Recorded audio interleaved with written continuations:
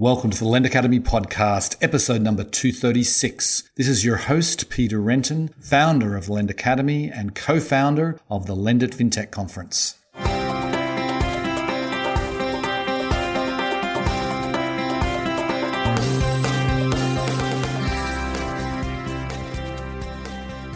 Today's episode is sponsored by LendIt FinTech USA, the world's largest fintech event dedicated to lending and digital banking. It's happening on May 13th and 14th at the Javits Center in New York City. Lending and banking are converging, and LendIt FinTech immerses you in the most important trends of the day. Meet the people who matter, learn from the experts, and get business done. LendIt FinTech, lending and banking connected. Go to lendit.com slash USA to register. Today on the show, I'm delighted to welcome Monica Brand Engel. She is a co founder and partner with Quona Capital. Now, Quona is a very interesting firm. They've been around for a few years. Monica has actually deep experience in this space, and that is early stage venture in emerging markets. And uh, Quona have done several investments. Uh, uh, some names you'll probably recognize if you are if you're focused on emerging markets. We get into a couple of examples of companies that they have funded. Uh, we talk about the geographies they're working in and why they chose those geographies. We talk about what they're looking for when investing in a fintech company, and we discuss the general state of fintech for good or financial inclusion and why it's really grown in popularity in recent recent years. And we cover much more. It was a fascinating interview. I hope you enjoy the show. Welcome to the podcast, Monica. Pleasure to be here, Peter. Thank you. Okay, my pleasure. So you have a very interesting background. You know, you've worked in you know the venture and early stage investing for some time. So why don't you give us give us a little bit of the highlights of what you've done in your career to date? Sure. I'm half Peruvian and had my formative years in Silicon Valley. And I share that because I think they both really inform my journey. Mm-hmm. So, as a daughter of immigrants, we sort of had lean startup as a family ethos, uh, but also had this, but also had this belief of abundance. If you compare kind of life in an emerging market, especially one like Peru, which has gone through different political regimes, and you contrast that to Silicon Valley, know, sort of again, you know, early, uh, even in the 80s and 90s, where the idea that there's a true meritocracy, that great ideas matched with a, a sort of a, a, view that anything is possible, and I would call it a spirit of generosity. One of the things that really struck me while living out on the West Coast is just that everyone would open up a conversation and how can I help you? I think that notion of how can I help you, just again, start your idea, get the resources you need, find the talent, you know, build on the innovation. That really informed sort of my career in focusing on financial services and mm-hmm. also really informed the founding of Quona, which is a venture firm focused on fintech for inclusion. So the threads uh, of my career are, definitely much a, a, product of my environment, but also I'll say that just personally, I'm very left brain in terms of where my sort of superpowers are. But actually what gets me up in the morning is actually the connection with people, the sort of right brain, the creativity. Mm-hmm. And so marrying, you know, left brain and right brain is also what we're trying to do with Quona, marrying profits and purpose, marrying financial services and technology, uh, marrying developed world and emerging markets. It's the power of the and that we think the magic happens. So. Mm-hmm. Okay. Okay. Yeah, so I noticed that you, know, you, you worked at Accion for a number of years and maybe you could tell us, I know you still have a close relationship there. So maybe tell us the, the founding story of Quona Capital and uh, how it all came about. Yeah, so I, you know, after business school, I really wanted to. I had been in Silicon Valley for seven years at that point. I graduated Stanford, and everybody's in the late '90s, and everyone was sort of doing the dot com thing. And I really wanted to go to an emerging market again, back to that calling of my background ended up in South Africa uh, mainly because of an inspiring uh, story of what was happening with Mandela and post apartheid. But actually, because of the seed I planted, uh, it was then called Students for Responsible Business, now called Net Impact. A friend of mine at another business school said, You need to talk to Accion. And even though I was living in South Africa, living the dream, uh, it was a phenomenal experience there. I came back to join Accion uh, to run product innovation. And the reason were because they said two things that are also very critical to the founding of Quona. the CEO at the time, whose name was Michael Chu, said, one, the only way to solve a problem as immense as world poverty is to mobilize a resource equally as plentiful, and that's the world's capital markets. The second thing he said to me is, Monica, you can't be patient with poverty. And that if you want to find solutions, you have to go to the private sector because they're the only ones who work at the pace that we require if mm-hmm. we don't want to be patient with poverty. And so, uh, so I joined Accion as head of product. I really, uh, this is during the time when Clayton Christensen had written Innovator's Dilemma. I hadn't read it, but I was living it, where I was trying to help microfinance institutions innovate, develop new products, which is what they said they wanted. But yet it was really hard to get successful institutions to diversify away from what was making them successful. Mm-hmm. And it was in that frustration that uh, actually I moved to Mexico thinking I just wasn't close enough to the client, working with one of Accion's leading microfinance partners. Their name was Compartamos, now called Gentera, one of the largest microfinance institutions in Latin America. Um, and they had an IPO, and that the the windfall from that, and Accion was always investing along with doing advisory services. Again, something very important to Quona, where we invest our operating know-how with capital.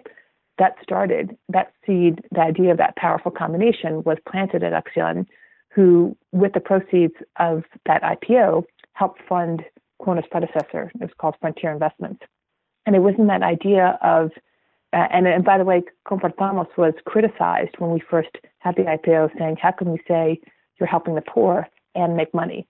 So back to that seeming contradiction, which mm-hmm. we thought was a false trade-off. We really believe that there can be money in meaning, and so that really led to them offering me uh, a job to start a portfolio where we would do fintech, not just traditional financial services. So in that, instead of trying to help sort of brick and mortar institutions innovate, we were going to invest in new fintech technologies that would have new business models, new types of products, new approaches to radically improve access and quality of financial services.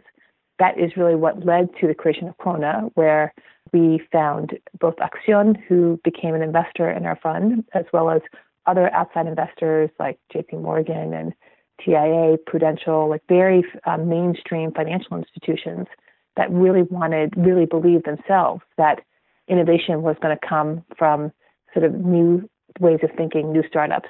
Mm-hmm. Um, and that's where my co-founders came in and we created Quona Capital.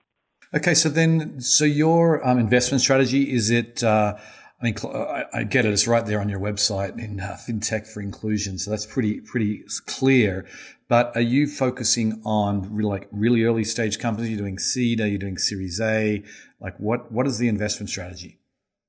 So we have a very focused investment strategy because when we launched Quona, this is now in 2013, we were an anomaly and we were bucking a trend. At that point, venture capital as an asset class was coming off its worst decade of performance in its history, really as a result of two funds getting too big and earning money off of management fees rather than carried interest. Mm-hmm. We we're also bucking a trend of looking outside, looking to emerging markets. Remember, this is a year or two before Brexit and uh, you know, the election of Trump and, uh, and other policies that were really focusing on, you know, sort of me first and focusing on, uh, you know, national uh, needs versus global. Mm-hmm. And also bucking a trend of this idea of doing impact investing. I think it was still kind of an unproven concept, or even microfinance. It had been discredited by some bad actors um, in India. And so even the idea of microfinance being a good thing was all was in question. So we were starting a venture firm in emerging markets focus for fintech for inclusion. So everything that, that basically we should have had been three strikes right off the door. but I, but I think a few things. One, we had conviction. So remember, my partners and I all had come from emerging markets. We had all worked, lived, run businesses there, and I think that gave us a real appreciation that things happen in cycles that just the way you know the, that yeah, there are times when certain countries and markets are out of favor, but they always come back with growth. And this idea of just the enormity of the market opportunity we're facing. I mean, we're talking about basic fundamental needs, things like having a transaction account so you can pay your bills, or having a loan to finance your business or send your child to college. Just very, very fundamental products and services that did not exist or that were too expensive because of the way the financial system was structured in those countries. Mm-hmm. So we just saw it was like physics, right? You see, you, you know, you see the physics of the business and the opportunity that new technology creates, especially with things like the proliferation of cell phones and smartphones and the expansion of Web 2.0, which allowed you to start a tech company for a fraction of the capital it used to cost. So there was a sort of perfect storm of forces and factors that really gave rise to our creation of Quona. And I will say we had some enlightened LPs that were willing to take a risk. And I think that's where the role of Accion, you know, willing, willing to put the first $20 million check in, that really helped sort of, again, put your money where your mouth is, as we all were. So all put in kind of, you know, sort of you know, skin in the game that really helped bring those forward thinking LPs to the table. And I don't think we're disappointed in terms of our results. Mm-hmm, mm-hmm. Okay, so then, so so what stage are you looking at? Are you looking at the startups or? Yeah, so see, see so our so our focus is uh, to make them comfortable. We do not do startups, so we look at Series A as our sweet spot. So usually, at least a million in revenue is kind of our uh, rough estimate of what we what we uh, say we need to see product market fit. So we want to see companies that have been de-risked through actual recurring revenue, through management teams that have knowledge around those markets, and by focusing on countries where the enabling environment, meaning regulation, other venture players, sort of lots of thriving entrepreneurship happening, all that exists in the core markets where we work. So in LATAM, really Brazil with a, a sort of increasing focus on Mexico.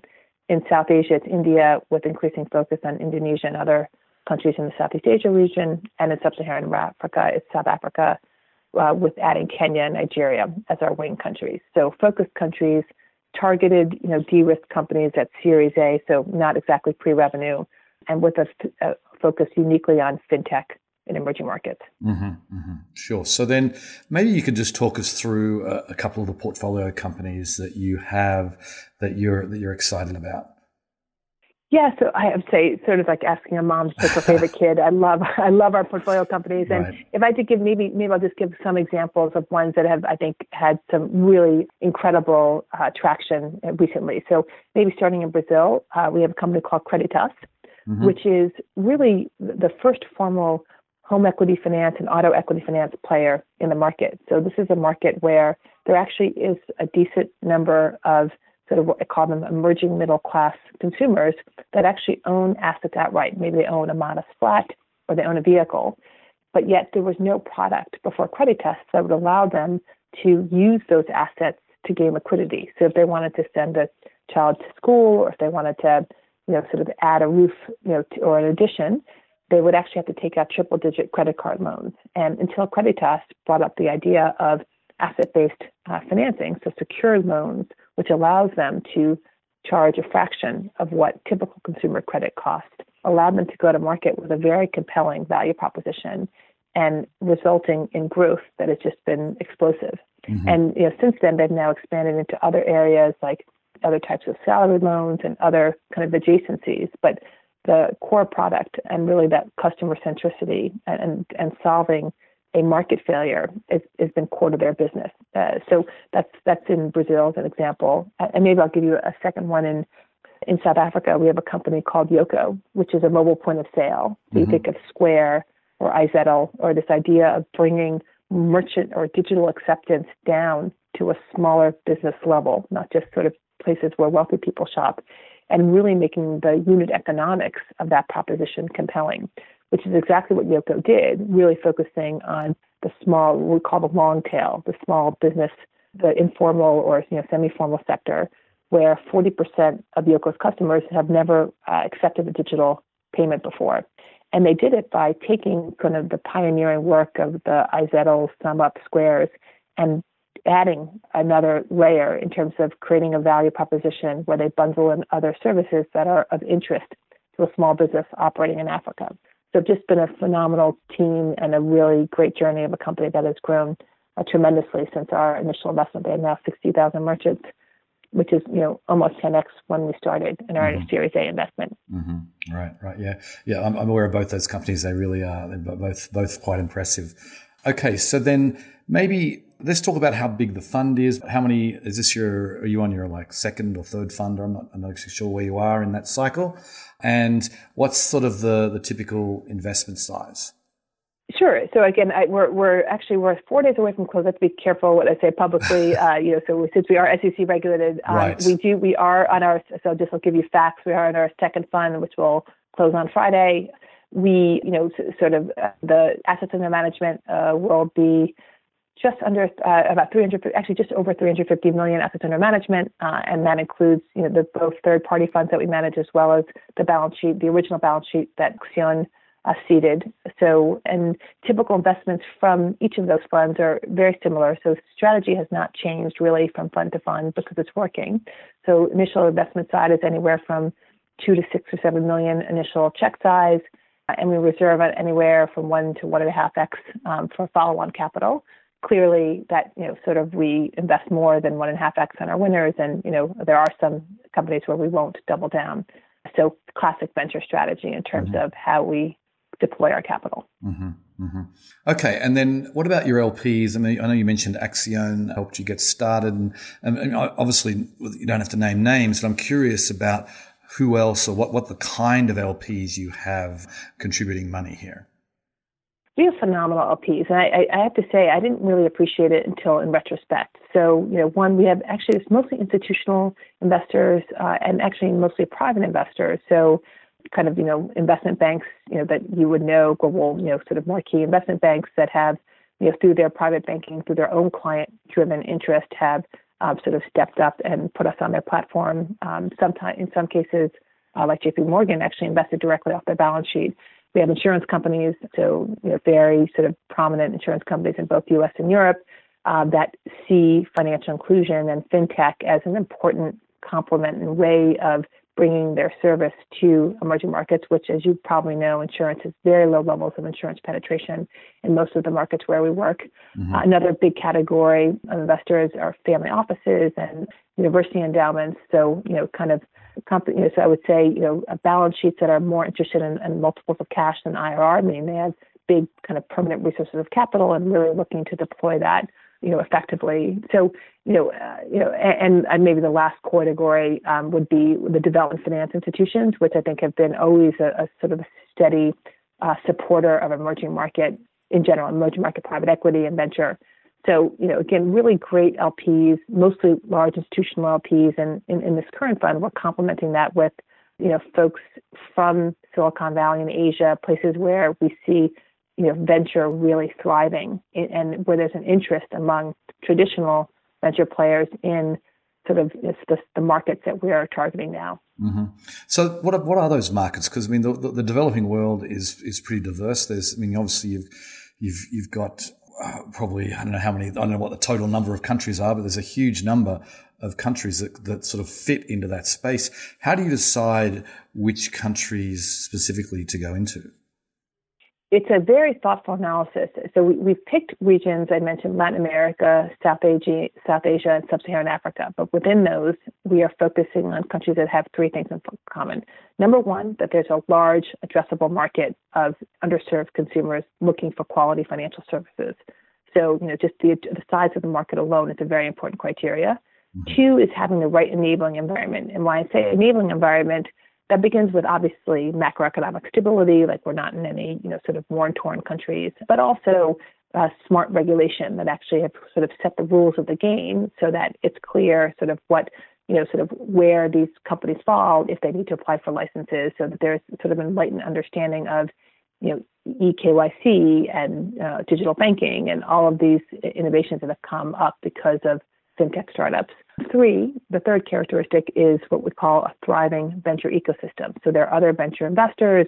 There's a sort of uh, sort of incubators and accelerators with active entrepreneurship happening. So all three really need to be there for us to even begin looking. It's not that we're restricted there, but it's where we focus our attention, and it's why 75% of our portfolio to date is in Brazil, India, and South Africa. So it's not a coincidence that those are our core markets.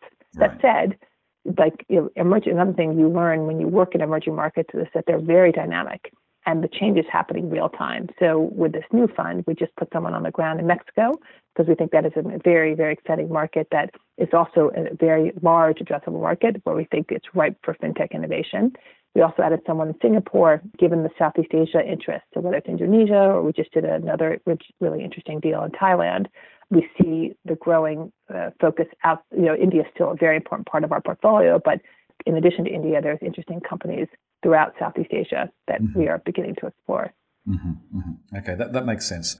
So, what about? You know, I, am interested in what you find as far as you know, fintech has many verticals. Fintech for good can there's all kinds of different companies that, that could fall into that broad category. So, what do you think are the most interesting areas? Where is Quona Capital focusing their efforts in the different verticals within fintech for good? Yeah, so we because we are looking at the mass market. So what are you know what are those kinds of verticals, those financial service sectors that are really going to be able to address literally the billions or not hundreds of millions of underserved consumers and small businesses because we look at both sort of SMEs, small and medium sized enterprises as a very interesting marketplace as well as uh, merchant consumers.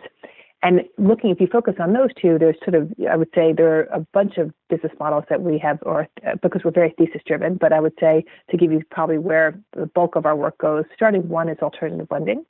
So half of our portfolio is balance sheet. Um, mm And when I say alternative lending, you know, think of OnDeck for emerging markets like Konfio in Latin America, which mm-hmm. basically provides what a microfinance institution does, but does everything digitally. So underwrites, you know, basically acquires consumers through performance marketing, digital marketing, underwrites using data that is generated electronically by geolocating the person or looking at their cell phone or payment history.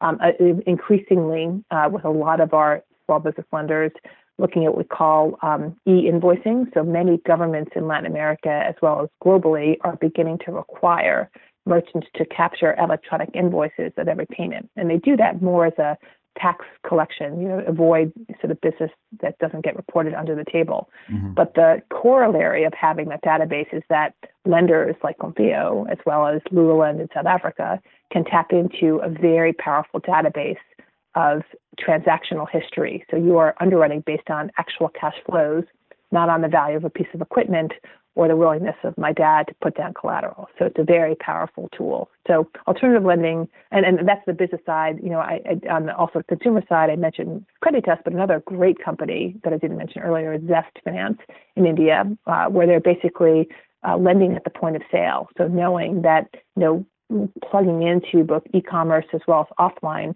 retail allows a very powerful way to not only sort of be present for the consumer when they need the, the credit most, but actually focus and make sure that your credit, consumer credit, is being used for sort of value enhancing, life enhancing goods versus, you know, some other things that, you know, gambling, for example, that credit could be used for. Mm-hmm. So alternative lending is you know, a very big place. Maybe a sort of a corollary to that, you know, because in the early in our in our days, you know, sort of looking at specific lending verticals was a big focus. And what we've seen over time is that lending is being tied into other deposit taking and other services to develop challenger banks. So we just we have a couple of challenger banks in our portfolio. Um, we have a Bank Neon in Brazil. We just made an investment about four or five months ago in a company called Klar in Mexico. And the idea there is basically to not just take lending, but all of the services that one might use a bank for and make that experience digital. So you think of N26 or Monzo, very clear analogs in the developed world. And there's no reason why that the same rationale for those successes in the developed world uh, shouldn't happen in the emerging world. So challenger banking is another sector we're super excited about.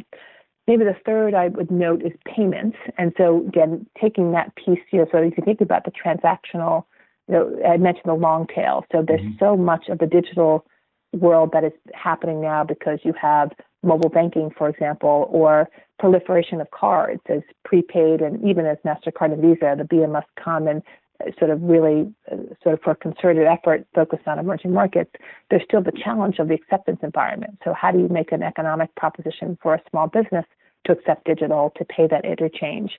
And there are a bunch of companies that are creatively thinking about how to make that value proposition more compelling for the merchant so that you have both sides of the transaction working. You know, the consumer that increasingly uses digital as well as cash, and the merchant who sees the value of accepting digital, as well as because uh, it's not immediately obvious, especially if to stock your own shelves, all your suppliers work in cash. Mm-hmm. So it is, you know, it seems obvious, but it, it does take a real understanding of the driving forces to make those businesses operate. And then insure, I'll say the last one is insurtech. So insurtech is one where I would say digital lending or banking was uh, maybe five years ago, and we see some really interesting models growing out of insurtech as well. Mm-hmm, mm-hmm. Okay, so then how how does a company get on your radar? Or how do you reach out to these companies? I mean, obviously there's, uh, you, I'm sure you get a lot of inbounds, but I'm, I'm curious about how do they, what, what's it going to take to, to get like a meeting uh, with one of, you know, with one of your people? Yeah, pipeline's not really a challenge for us. I would just say we are you know, swimming in phenomenal companies. We you know we have sort of a weekly dot, deal roster and uh, you know Salesforce database where we try to prioritize is actually our bigger challenge. And how do you right. sort of decide how you're going to spend your time. And the reason why there's such a rich pipeline is one is there's a really important need. There are phenomenal entrepreneurs that are leaving, you know, coming graduating business school in the U.S. or Europe, and instead of working at a bank or you know uh, locally, they're actually going back home to their emerging country because they see just a much more much more compelling market opportunity. And so we are there. We are both what we call global local. So we have people on the ground in Mexico, Bangalore, Singapore, Cape Town, Lagos. You know, we have people, you know, Quona staff who live there, as well as you know travel to adjacent markets. And all we do, in addition to going to our board meetings and serving our existing portfolio, is talk to new entrepreneurs. And then we also spend a lot of time. I mean, again, we really believe in the ecosystem, so we also spend a lot of time in dialogue with our other fintech investors, whether mm-hmm. they're mainstream fintech investors from you know Silicon Valley, London, or New York that are wanting to explore emerging markets, or you know, maybe I would call them generalist venture investors that have a presence in these emerging markets and want to go deeper in fintech. So it comes from a lot of places, but we are in market constantly. And I would say, you know, kind of, you know, every other week, you know, speaking to entrepreneurs. And so the pipeline is very rich. I think that the challenge is how do you sort of place your bets in companies because a great idea is not sufficient. You really need to get that product market fit right. And that is a process, an iterative process of trial and error and a lot of you know, ingenuity uh, to make everything work. Right, right. Okay, so I'm um, just taking a step back, I mean, I'd be interested to get your perspective, someone who's been in this space for a long time.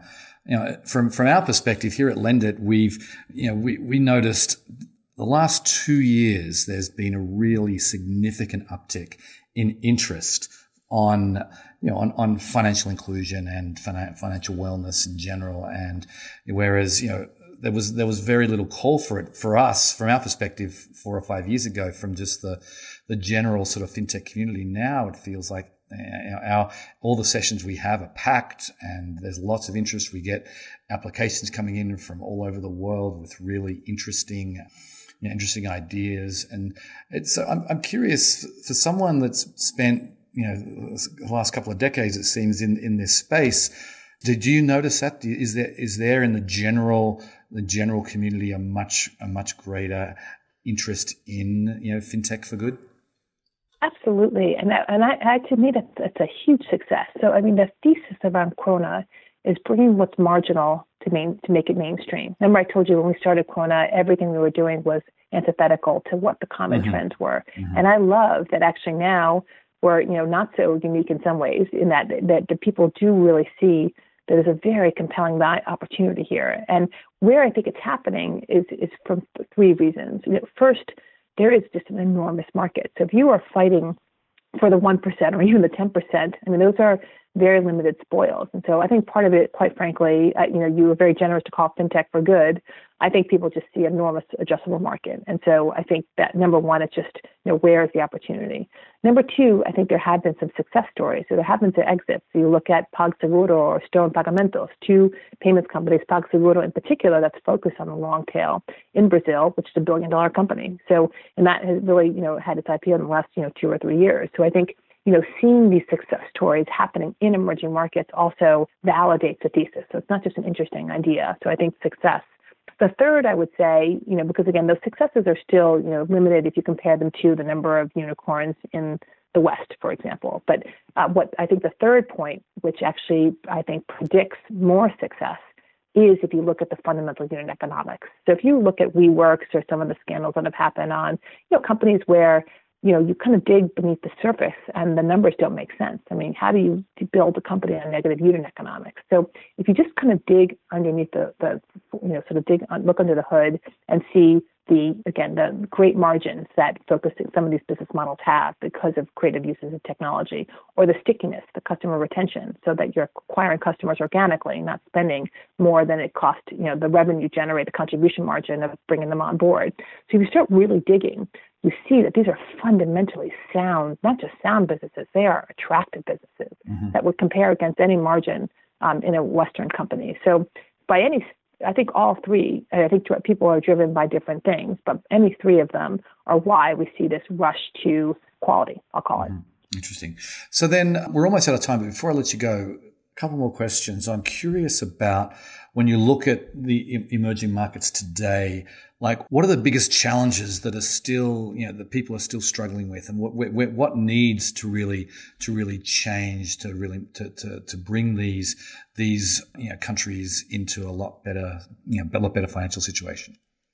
I would say number one is the information asymmetry. So there is this risk premium that is not really based on reality. So, you know, for example, if you look at what it costs for credit in these countries. So I mentioned earlier that half of our portfolio are, we have alternative lenders, we have balance sheet businesses, about half of our portfolio. And so that means that their input, there, there is debt. They need to, you know, to provide a loan, you need to have your own debt capital. And it costs them a ridiculous amount of money, equity rates, cost of capital mm-hmm. to provide debt and it's a fixed income product with you know you know a payment schedule that you know we our companies have a fantastic history repaying. And so there's a real, and I think if you ask why is that so, a little bit is FX. So there's a lot of volatility in FX markets, which means the cost gets built in is quite high to capture that volatility, but also just the supply demand. There's just not enough lenders willing to uh, operate in our markets. That's changing. Um, and certainly Latin America is probably the most advanced in terms of having you know, very deep pools of capital available. Uh, but I would say that's a very that's that's until that gets fixed, you're going to have a very crazy phenomenon, which we have now, where equity is funding loan portfolios. So mm-hmm. you have a total, you know, kind of, you know, mixed match on, on sources and uses. I think secondly uh, is going to be what I call the talent gap, and uh, what I mean there is, you know, there, there, I mentioned earlier that there's what I call this reverse diaspora, where you know folks maybe you know were born in an emerging market, go to the West to go to school, maybe take the first job, but then come home. And they're really excited about it. And they come home because, again, they see this compelling opportunity and this real, ex- really exciting dynamism that's available. But you go a layer down, and like, how do you hire your C-suite and your your managers? And there is a big talent gap, and that has to do with education quality. In many of these countries, and again, it's not universal. A lot of our countries have phenomenally strong, you know, technical schools, but the, it's the growth that's happening in the sector has the the talent has not kept up with that growth. So I think there's going to be some important you know, sort of uh, you know, gaps in companies like mandela You know, there's a lot of companies trying to address that gap but I will say that there's still you know much more needed to drive that. Mm-hmm. And and then you know maybe the third thing I would say is I guess you know it's, it's what we really believe at Quona. Venture um, has become kind of a dirty word. Like to say venture for good. Like I often say, what uh, our, our vision is to bring you know venture capital to emerging markets. And when I say that, I mean what venture was to me when I you know first got to Silicon Valley, which was you know, the combination of you know innovation, grit, and smartly structured deals to really do build life changing businesses.